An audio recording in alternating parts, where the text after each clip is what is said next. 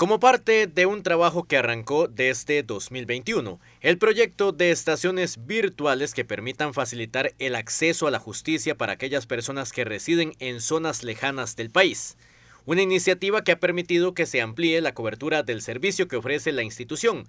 ahorrándose tiempo y dinero a las personas usuarias que para poder solicitar la asesoría y representación de una persona defensora pública debe trasladarse en ocasiones por horas a los edificios de tribunales de justicia donde se ofrece el servicio requerido.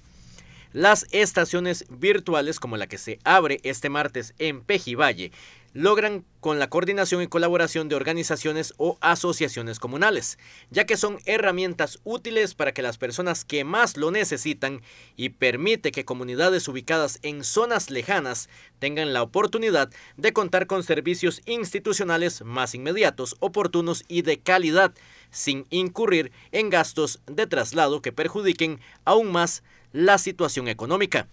El próximo día 28,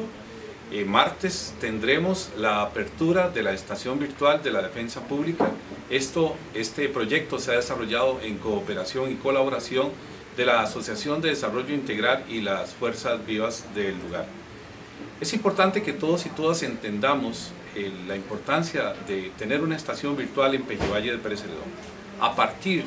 de, su creación podemos perfectamente atender a las personas usuarias de la defensa pública e igualmente conectarlas con el Poder Judicial. De esta forma y de esta manera, las personas de Pejivalle no tendrían en muchas ocasiones que trasladarse desde Pejivalle a los tribunales de justicia de Pérez Celedón u otros tribunales del país. Este tipo de acciones buscan garantizar el acceso a la justicia de las comunidades ese mismo día, las personas usuarias que asistan podrán evacuar consultas legales en pensiones alimentarias, laboral, agrario, penal, penal juvenil, ejecución de la pena y contravenciones.